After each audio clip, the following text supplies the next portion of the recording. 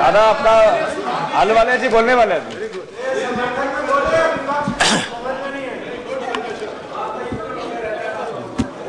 অধ্যক্ষ মহাশয়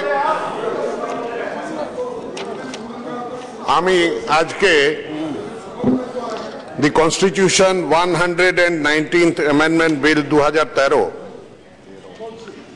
যেটা বাংলাদেশ আর ভারতীয় ল্যান্ড বাউন্ডারির এগ্রিমেন্টের অনুমোদনের জন্যে সদনের সামনে রাখা হয়েছে, বলার জন্যে দাঁড়িয়েছি আর সমর্থন করছি। আমি বিশেষ করে বাংলা এই জন্য বলছি, কেন কি এপার বাংলায় আর ওপার বাংলায় লক্ষ লক্ষ মানুষ আজকের এই দিনের জন্য অপেক্ষা করছে। আজকে সে লক্ষ লক্ষ মানুষ কানে হয়তো রেডিওর মাধ্যমে, হয়তো টিভির মাধ্যমে দেখতে চায় যে ভারতীয় সংসদ আজকে কি করছে। তাই আমি আমার কথাগুলো বাংলায় বলব।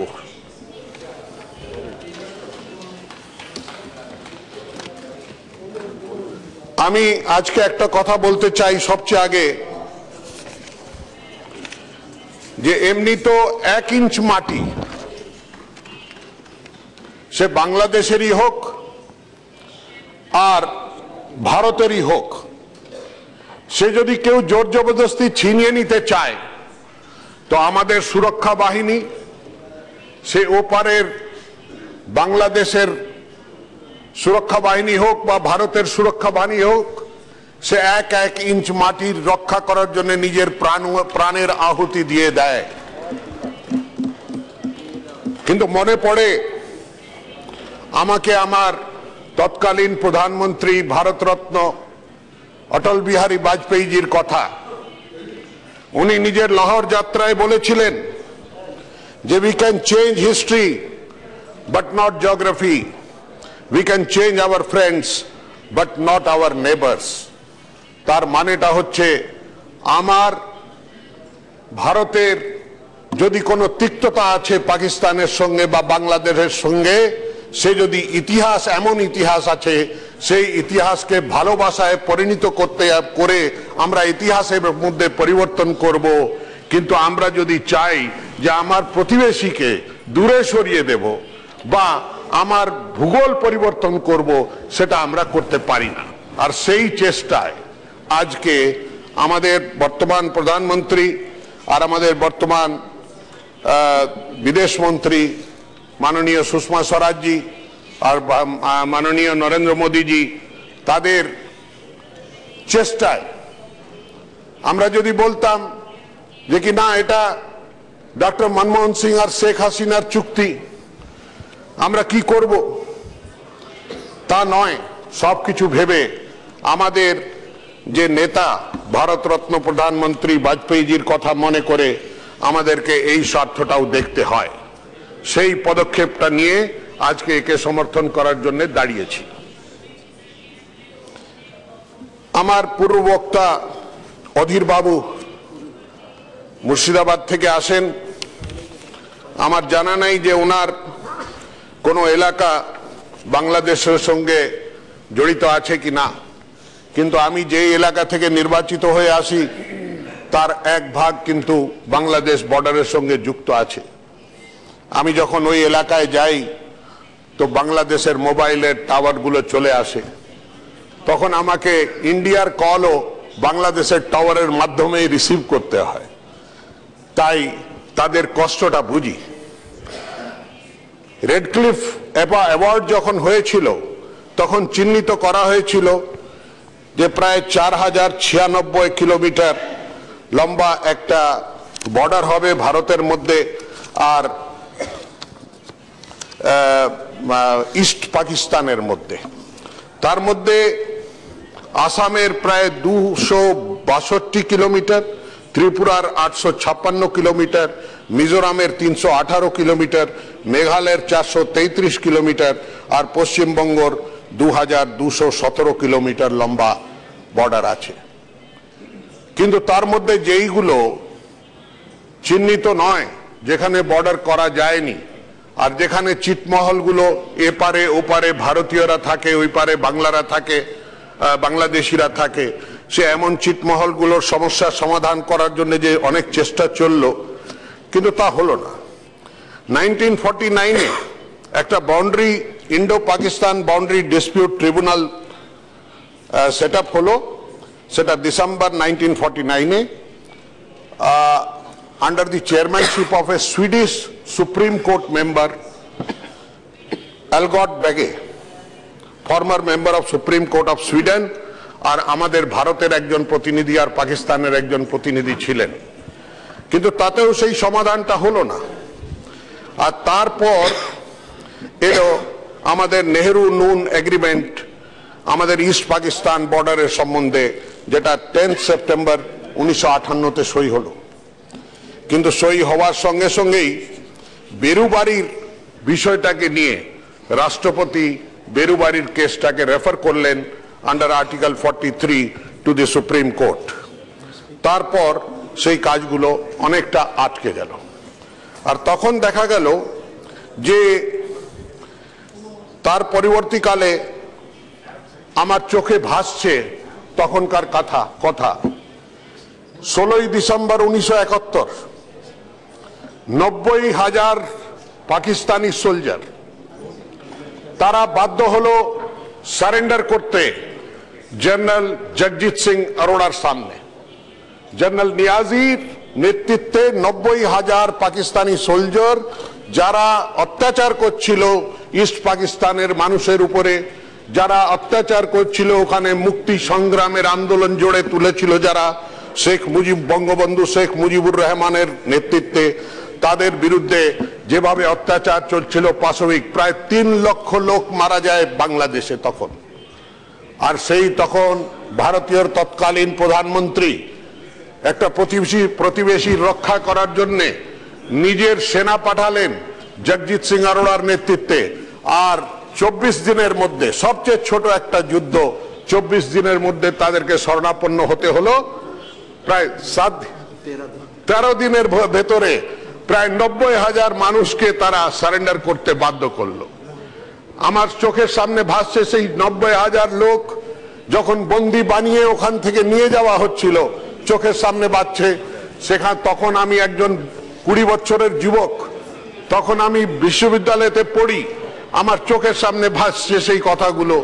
তখন বঙ্গবন্ধু শেখ মুজিবুর রহমান গ্রেফতার হয়েছেন, ওনাকে বন্দি করা হয়েছে, লাহোর নিয়ে যাওয়া হয়েছে।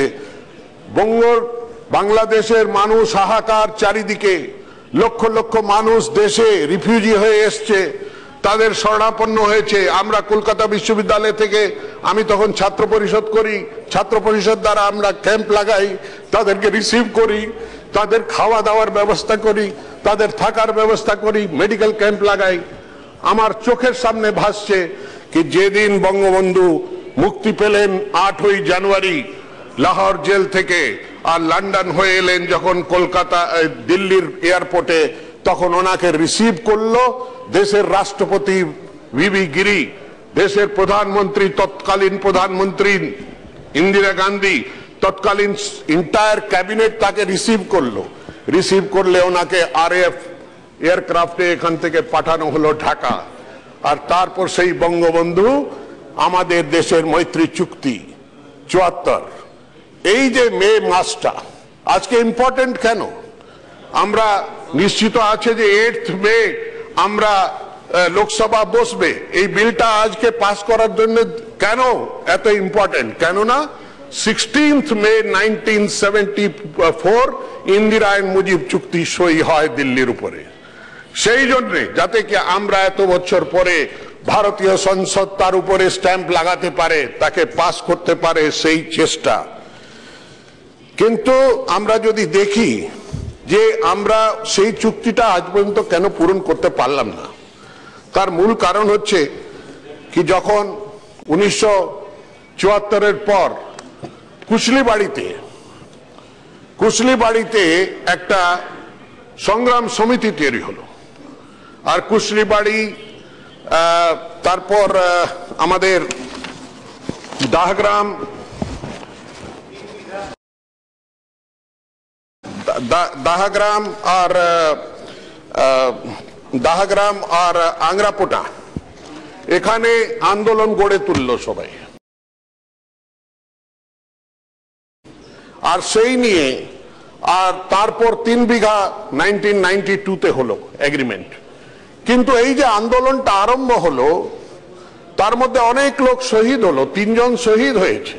অনেক লোক ঘর ছাড়া হয়েছে অনেক লোক জেল গেছে। তারা তাদের এটা নয় যে কি তারা চায় না এটা। তারা চায়, কিন্তু তারা নিজের অধিকারটাও চায়। সেই জন্যে তারা এই আন্দোলনে জড়িত ছিল। আজকেও তাদের দাবি তাই। আজকের, আজকেও তাদের দাবি যে দাহাগ্রাম আর আংরাপোটাটা ভারতের অঙ্গ থাকুক। আর তিন বিঘার যে করিডোরটা আছে সেটা অ্যাবলিশ করা হোক। এটা আজকেও ডিমান্ড আছে তাদের। সেই ডিমান্ডটা আমি জানি না কতটুকু ভারতীয় সরকার তার উপরে বিচার করবে। কিন্তু বিচার যদি করতে হয় পশ্চিম বাংলার স্বার্থে আর দেশের স্বার্থে, যখন এত বড় কাজ আমরা করছি যে একটা নতুন যুগ আরম্ভ করতে যাচ্ছি আমরা শেখ মুজিবুর রহমান আর ইন্দিরা চুক্তির যেটা তার পরবর্তীকালে সিক্স সেপ্টেম্বর টু যেটা মনমোহন সিং আর শেখ হাসিনা শেখ হাসিনা হচ্ছেন ওনারই মেয়ে শেখ মুজিবের। আর ওনার ওনাকে এই এই এই চুক্তিতে যদি আমরা প্রদান করছি, তখন আমাদেরকে ভাবা উচিত যে বাংলাদেশের সঙ্গে শুধু এই চুক্তি নিয়ে সমস্যার সমাধান হবে না। বাংলাদেশ সঙ্গে, বাংলাদেশের সঙ্গে ভালো হৃদয়তাপূর্ণ সম্বন্ধ গড়ে তোলার জন্য ওখানে উন্নয়ন দরকার। যদি কেউ এরপরে বিচার করে যে কেন বাংলাদেশের মানুষ কেন ইস্ট পাকিস্তানকে ত্যাগ করে নিজের একটা স্বেচ্ছা, একটা স্বাধীন বাংলাদেশ চেয়েছিল, তার মূল কারণ ছিল যে তাদের আমদানি পাট চাষে হতো বা জুটের হতো, সেই যে আমদানিগুলো হতো, সেই আমদানি ওয়েস্ট পাকিস্তান চলে যেত, আর ওয়েস্ট পাকিস্তানের সেই টাকাটা কিন্তু ডিফেন্স এক্সপেন্ডিচারে খরচা হতো। তাদের দাবি ছিল, এই টাকাটা যাতে আমাদের ইস্ট বেঙ্গলের ইস্ট পাকিস্তানের উন্নত উন্নয়নের জন্য লাগানো হোক, এখানে রাস্তাঘাট করা হোক, এখানে কালখা কারখানা করা হোক, এখানে ড্যাম করা হোক, এখানে আরও রেল কানেক্টিভিটি করা হোক, যাতে কি ইস্ট পাকিস্তানের বাঙালি মানুষ, তারা নিজের উন্নয়নের সঙ্গে বেঁচে থাকার অধিকারটা পায়। দ্বিতীয় কথা, তাদের উপরে অনেকটা জোর জবরদস্তি তাদের উপরে উর্দু চাপানো হয়েছিল। বাংলাদেশের বাঙালি, সে যেই ধর্মেরই থাকুক, তার মাতৃভাষা কিন্তু বাঙালি। সবচেয়ে বড় আন্দোলন বাংলা ভাষার যদি কিছু হয়ে থাকে ইস্ট পাকিস্তানে রাষ্ট্রভাষা বাঙালিকে করার জন্য তাদের আন্দোলন হয়েছে। বাংলাকে ওই তো বলছি। না না, ওখানকার যে বাঙালি, রাষ্ট্রভাষা বাংলাকে করার জন্য, রাষ্ট্রভাষাকে বাংলাকে রাষ্ট্রভাষা করার জন্য আন্দোলন করেছে। এই দুটা জিনিস, একটা উন্নয়ন আর একটা ভাষা। এই দুই জিনিস থেকে তারা বঞ্চিত ছিল। তাই তারা লড়াই করল ওয়েস্ট পাকিস্তানের বিরুদ্ধে। তার জন্যে কত বছর ধরে, প্রায় সাত বছর দুইবার শেখ মুজিবুর রহমানকে জেলে থাকতে হলো। এই জন্যে যে কি উনি বাঙালির স্বার্থের জন্য চিন্তা করে, বাঙালির উন্নয়নের জন্য, বাঙালি ভাষার জন্য উনি লড়াইটা করছিলেন। আর ওনার পেছনে ওখানকার জনগণ দাঁড়িয়ে পর- পরবর্তীকালে সেটাকে স্বাধীন করে একটা স্বাধীন বাংলাদেশ তৈরি করেছে। আজকে ওখানকার সেই কোটি কোটি মানুষের স্বপ্ন পূরণ হতে যাচ্ছে। শেখ মুজিবের দেখা স্বপ্ন পূরণ হতে যাচ্ছে। আজকে ইন্দিরা মুজিবের যে চুক্তি আছে তার স্বপ্ন পূরণ হতে যাচ্ছে। আজকে মনমোহন সিং আর শেখ হাসিনার যে স্বপ্ন আছে পূরণ হতে যাচ্ছে। কিন্তু বর্তমান যুগের বাঙালি হোক আর ভারতবাসী হোক, দুজনেই কিন্তু চায় যে দুই দুই জায়গায়, পদ্মার এপারে আর ওপারে, দুই পারে কিন্তু উন্নয়ন হোক। লোক যারা বেরোজগার আছে তারা চাকরি পাক, যারা অশিক্ষিত আছে তারা শিক্ষা পাক, দরিদ্রতা থেকে তাদের মুক্তি হোক, স্বাস্থ্যর সমস্ত লাভ পাক তার জন্য আমারও কিছু দাবি আছে। আমার দাবি যে আমাদেরকে অ্যাক্সেস টু রোড আমাদের ইন্টায়ার নর্থ ইস্টটা আমাদেরকে শিলিগুড়ি হয়ে ঘুরে যেতে হয়। কিন্তু আমরা যদি ঢাকা হয়ে যাই, অনেক কাছে পড়ে যায়। আমরা শিলচর যাওয়ার জন্যে বা আগরতলা যাওয়ার জন্য আমাদেরকে শিলচর হয়ে আগরতলা যেতে হয়, আমরা ঢাকা হয়ে আরাম করে যেতে পারি। আমরা যদি এই রোড কানেক্টিভিটিটা পাই রোড অ্যাক্সেসটা রেল অ্যাক্সেসটা তারপর আমরা যদি রিভার অ্যাক্সেসটা পাই, যাতে কি আমরা সি লিঙ্ক পাই, তার ব্যবস্থাটা আমি আমার মাধ্যমে দাবি করি। সরকারের কাছ থেকে, কি সরকার নিশ্চয়ই এই চুক্তি সই করার পর, নিশ্চয়ই ওনারা পরবর্তীকালে নতুন কিছু চুক্তি করবেন, সেই চুক্তির মধ্যে যদি- এই জিনিসগুলোকে রাখা যায়। আর পরবর্তীকালে আমি দেখছি যে কি এই যে ল্যান্ড শপিং হলো ইনক্লেভ শপিং হলো আমি পরশু থেকে টেলিফোন পাচ্ছি। বাংলাদেশ থেকেও পাচ্ছি, এখান থেকেও পাচ্ছি। যে একটা টেনশন আছে। যারা বাংলাদেশি বিরোধী শক্তি আর যারা ভারতীয় বিরোধী শক্তি, দুজনেই কিন্তু তৎপর হয়েছে যাতে কি কমিউনাল রাইট হতে পারে, লুট হতে পারে, ধর্ষণ হতে পারে, নানা রকমের অত্যাচার হতে পারে এই ল্যান্ড শপিং এ তাকে আটকাবার জন্য আমার মনে হয় যে ইমিডিয়েটলি দুই কান্ট্রির সামরিক বাহিনীকে একটা কোঅর্ডিনেশন ফোর্স বানিয়ে তাদের রক্ষা করার ব্যবস্থা করার দরকার আছে। আর পরবর্তীকালে যে প্রতিশ্রুতি আমরা দিচ্ছি, যে কি ওপার থেকে যারা আসবে এখানে, তাদেরকে ভারতীয় নাগরিকতা দেওয়া হবে। তাদেরকে শুধু ভারতীয় নাগরিকতা নয়, ভারতীয় নাগরিকের যা প্রাপ্য আছে, আধার কার্ড থেকে নিয়ে গ্যাসের কানেকশন অবধি, আধার কার্ড থেকে নিয়ে ভোটার রাইট অবধি আধার কার্ড থেকে নিয়ে এই যে নতুন ইন্স্যুরেন্স ইন্স্যুরেন্স পলিসি আনছেন, কালকে প্রধানমন্ত্রী লঞ্চ করতে যাচ্ছেন, সেই ব্যবস্থা, জনধন ব্যবস্থা, যা কিছু ব্যবস্থা আছে জিরো অ্যাকাউন্ট খোলার ব্যবস্থা, শিক্ষার ব্যবস্থা, রাস্তাঘাট, সমস্ত কিছু ব্যবস্থা তাদের যাতে হয়, যাতে তারা গর্ব করে বলতে পারে যে আমরা আর পরাধীন নয়, আমরা একজন স্বাধীন স্বাধীন ভারতের বাসী। আর ওরা বলতে পারে যে আমরা এখন আর পরাধীন নয়, আমরা স্বাধীন বাংলাদেশি, বাঙালিবাসী। এই গর্ব করেই আমরা থাকি। আমি বাংলায় ভাবি, বাংলায় চিন্তা করি, বাংলায় বলি। তাই আমি বললাম আজকে যে এই বাংলা কথাটা আমি সবার সামনে রাখতে চাইছিলাম। আমার মনে পড়ছে, আমি জন্মেছি বাংলায় বাঙালি হয়ে। বাংলায় ভাবি, বাংলায় বলি। আবার বাংলাকেই বিভেদ করি, হাতে হাতে রেখে এই বাংলাকে এক করি। এটাই আমার হওয়া উচিত। গঙ্গা আমার মা, পদ্মা আমার মা। ও আমার দুই চোখে, দুই জলের ধারা। মেঘনা, যমুনা, একই আকাশ, একই বাতাস, কান্না, হাসির একই প্রকাশ। দোয়েল কোয়েল পাখির ডাকে একই মূর্ছনা।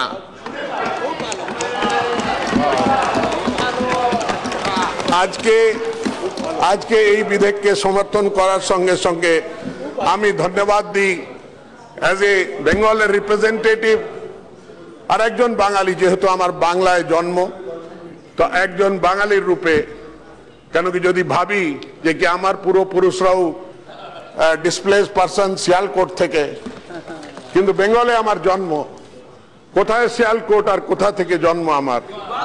হ্যাঁ এ- ইকবালের ইকবালের জমি থেকে কবি নজরুলের জমি। কবি নজরুল কিন্তু বর্ধমানের লোক। বর্ধমানের লোক কবি নজরুল ইসলাম। আর উনি গিয়েছেন, আর প্রতি প্রতিবেশী ছিলেন আমার রবীন্দ্রনাথ ট্যাগর বীরভূমে বসেছিলেন। তাই আমি ওখানেই ওখানেই মানুষ, ওখানেই কবিগুরু রবীন্দ্রনাথ ট্যাগর আর কবি নজরুল দুজনকেই সামনে রেখে আমার লক্ষ লক্ষ প্রণাম জানিয়ে বাংলাদেশের আর ভারতের এই চুক্তির এগ্রিমেন্টকে সমর্থন জানাই। কিন্তু কিন্তু তার সঙ্গে তার- সঙ্গে সঙ্গে আমার যে কথাগুলো বললাম, যে এখনও আমাদের দাবি যে দাহাগ্রাম, আংরাপোটা ভারতের অঙ্গ থাকা উচিত, আর তিন বিঘা করিডোর শেষ করা উচিত, করিডোর তেতুলিয়া করিডোর একটা বানানো উচিত কেন কি আমার দাসপাড়া চোপড়া থেকে যদি আমাকে যেতে হয় তিস্তা পয়েন্ট অবধি ভায়া শিলিগুড়ি, তো একশো সতেরো কিলোমিটার।